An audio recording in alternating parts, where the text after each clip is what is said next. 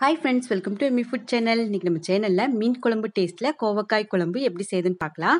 Already நான் கோவக்காய் பொரியல் எப்படி செய்யுதுங்கிறத வீடியோ போட்டிருக்கேன். அதோடைய லிங்க் டிஸ்கிரிப்ஷன் பாக்ஸில் கொடுக்குறேன். பார்க்காதவங்க செக் பண்ணிக்கோங்க. நான் ஒரு கால் கிலோ அளவுக்கு கோவக்காய் எடுத்திருக்கேன். அதை இந்த மாதிரி நீல வாக்கில் கட் பண்ணி எடுத்துக்கிட்டேன். அதுக்கப்புறம் ஒரே ஒரு பெரிய தக்காளி ஒரு பதினஞ்சு சின்ன வெங்காயம் கட் பண்ணி வச்சுருக்கேன். ஒரு ஆறு பல் பூண்டு இந்த அளவுக்கு இஞ்சி எடுத்துக்கிட்டேன். ஒரு சின்ன லெமன் சைஸ் அளவுக்கு புளியை ஊற வச்சு வச்சுருக்கேன். நீ வாங்க குழம்பு எப்படி செய்யுதுன்னு பார்க்கலாம். நல்லா கடை காஞ்சதுக்கப்புறம் எண்ணெய் ஆட் பண்ணிக்கலாம். நான் இன்றைக்கி தேங்காய் எண்ணெய் ஆட் பண்ணிக்கிறேன். எண்ணெய் நல்லா காஞ்சதுக்கப்புறம் கடுகு ஆட் பண்ணிடலாம். கடுகு பொரிஞ்சதுக்கப்புறம் கொஞ்சமாக வெந்தயம் ஆட் பண்ணிக்குவோம். கடுகு வெந்தயம் எல்லாமே நல்லா பொரிஞ்சிருச்சு. அதுக்கப்புறம் நம்ம சின்ன வெங்காயம் ஆட் பண்ணிக்கலாம். ஆறு பல் பூண்டு இஞ்சியை சின்ன சின்னதாக கட் பண்ணி ஆட் பண்ணிக்கிறேன். எல்லாத்தையும் நல்லா வதக்கி விட்ருவோம் வெங்காயம் ஓரளவுக்கு நல்லா சாஃப்ட் ஆகிற வரைக்கும் மட்டும் வதக்கி விடுங்க. பாருங்கள் ஓரளவுக்கு நல்லா சாஃப்டாக வதங்கிருச்சு. அதுக்கப்புறம் நம்ம வெட்டி வச்சுருக்கிற கோவக்காய் ஆட் பண்ணிடுவோம் கோவக்காய் எண்ணெயில் நல்லா வதங்கி அதோடைய பச்சை ஸ்மெல்லாம் போகணும். அப்போ தான் வந்து குழம்பு நல்லா டேஸ்ட்டாக இருக்கும். கொஞ்சம் உப்பு ஆட் பண்ணிவிட்டு வதக்கி விடலாம். ஒரு ரெண்டு மூணு நிமிஷத்துக்கு காய் நல்லா வதங்கிருச்சு. இனி தக்காளி ஆட் பண்ணிக்கலாம். ஒரு பெரிய தக்காளி நல்ல பழமான தக்காளி ஆட் பண்ணிக்கோங்க. மூடி வச்சு வதக்கலாம். அப்போ தான் கொஞ்சம் சீக்கிரம் வதங்கும். இடையில இடையில ஓப்பன் பண்ணி கிளறி மட்டும் விட்டுக்குங்க. இப்போ தக்காளி எல்லாமே நல்லா வதங்கிடுச்சு. இனி தண்ணி ஊற்றி காயை கொஞ்சம் நேரம் வேக வச்சுக்கலாம். வதங்குறப்ப ஓரளவுக்கு வெந்திருக்கும்.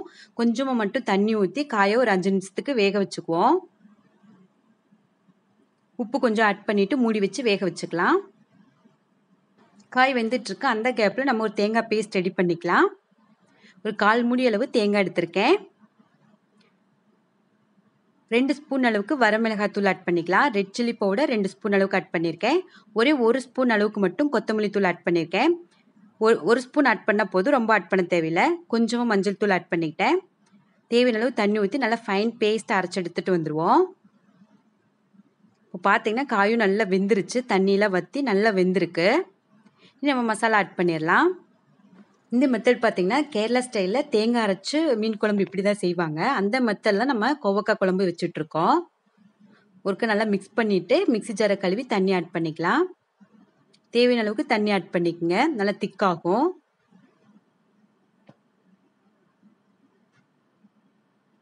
இதை மூடி வச்சு ஒரு மூணு நாலு நிமிஷத்துக்கு நல்லா கொதிக்க விடுவோம். அப்போ தான் அதனுடைய மசாலாவுடைய பச்சை ஸ்மெல்லாம் போகும்.